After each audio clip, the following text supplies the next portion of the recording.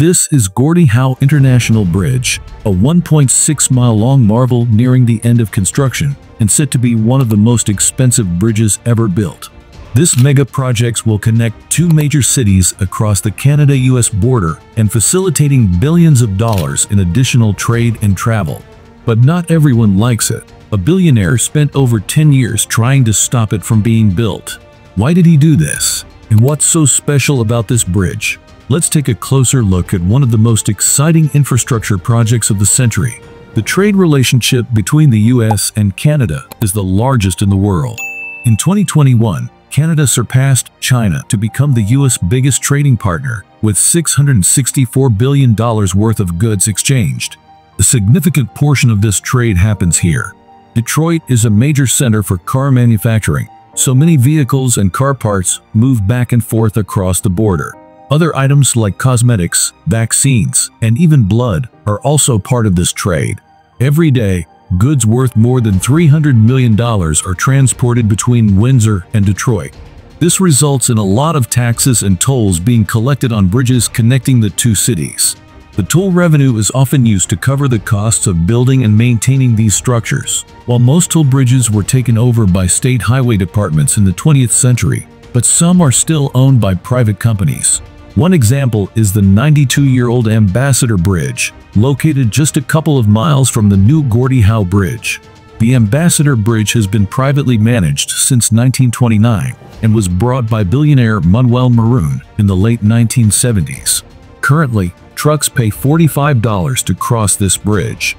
The Ambassador Bridge sees heavy truck traffic. In 2021, an average of 263 trucks crossed its four lanes every hour, and on particularly busy days, this number can rise to around 500 trucks per hour. While this heavy traffic is good for business, but not for travel times. This is where the Gordie Howe Bridge comes into play. Proposed nearly 20 years ago, the new bridge aims to provide an alternative route to alleviate congestion on the Ambassador Bridge, and getting it built is a massive undertaking. After all the political battles, the real challenge of engineering the bridge lay ahead. The Gordie Howe Bridge will be held up by cables spanning directly from two main towers, which will bear the weight of the road. These massive towers on opposite sides of the Detroit River, each soaring 220 meters high, and designed to resemble the curve of an ice hockey stick to honor the legendary hockey player Gordie Howe. These towers will be some of the tallest structures in the region. Before building up, the crew had to drill down, they created a stable base for the towers by digging six deep drill shafts into the bedrock. When finished, the Gordie Howe Bridge will include six lanes for motor vehicles, with three lanes heading to the US and three to Canada. It will also feature an 11-foot wide pedestrian and bicycle path. This project is essential for American infrastructure, as many bridges across the country are nearing the end of their usable life. The project will also involve constructing new ports of entry connecting the bridge terminals in both countries. The new Canadian port of entry will be situated on a 130-acre site, making it the largest Canadian port along the U.S.-Canadian border. The U.S. port of entry will cover 167 acres. It will be one of the largest border facilities in North America. Both ports will have facilities for inspecting vehicles entering and leaving, with space to expand if necessary. Additionally, the project will include improvements to the Michigan Highway interchange, adding five new pedestrian walkways and four new overpasses. Key intersections will be widened to facilitate smoother traffic flow for trucks and other vehicles, improving connectivity between I-75 and the U.S. port of entry. The project is divided into four main phases. Once finished, it will be the longest cable-stayed bridge in North America spanning 853 meters across the Detroit River. The $5.4 billion project is expected to be completed in 2025, but getting to this point hasn't been easy. A major obstacle was Manuel Moroun, the owner of the Ambassador Bridge. When plans for the Gordie Howe Bridge emerged, Moroun was against the new bridge and even sued the government to stop it. He proposed adding another span to his existing bridge instead, Critics argued that Moroun opposed the new bridge because he didn't want to lose revenue from tax-free gas sales. Adding another span to the Ambassador Bridge wasn't an ideal solution. It could create security risks and problems if nearby roads needed to close. Plus, businesses rely on smooth border crossings, with over a billion dollars worth of goods crossing each day. Having more crossing options is crucial. By 2035, the new bridge could generate about $240 million a year. Despite nearly two decades of legal battles, Moroun's attempts to stop the project were unsuccessful, and construction finally started in 2018. The next year, President Trump allocated $15 million in federal funds for the Gordie Howe Bridge. The Gordie Howe International Bridge Project boasts an impressive collection of public artworks, with local artists enhancing the bridge tower's aesthetic during construction.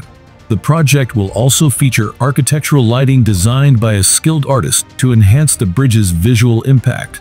As cross-border traffic is expected to increase from 18,500 vehicles a day in 2016 to 26,500 by 2025, the Gordie Howe International Bridge will play a crucial role in ensuring the smooth, efficient, and orderly movement of people and goods between Canada and the United States. Let's take a look at the remarkable milestones achieved in the Gordie Howe International Bridge project over the past few years. Towers reaching an impressive 220 meters were erected, which were built to last an extraordinary 125 years. On Canada Day, July 1, 2020, the project hit a major milestone with the start of concrete placement for the tower footings. Over six months, 7,600 cubic meters of concrete were poured.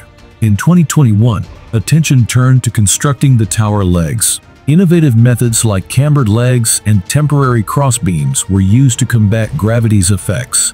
By July 2021, the critical T1 beam, essential for balancing horizontal forces, was installed. A major milestone was achieved on March 29, 2022, when the first deck element on the Canadian side was successfully lifted, despite the corrosive climate near Zug Island's industrial district. To fight corrosion, a durable three-coat paint technique was applied, designed to last 40 years. The Gordie Howe Bridge is an amazing example of engineering, and even more, it could transform one of the key border crossings globally. Perhaps all the political issues surrounding it will finally be resolved. At its peak, around 2,300 workers were involved in construction activities. In January 2024, it was officially announced that the bridge deck's completion was on schedule for the end of the year, ensuring progress toward the bridge's anticipated opening in fall 2025. Once construction is finished, Bridging North America will get monthly payments for operating and maintaining the bridge for 30 years. This improved connectivity isn't just about saving time, it's also about reducing fuel consumption and emissions.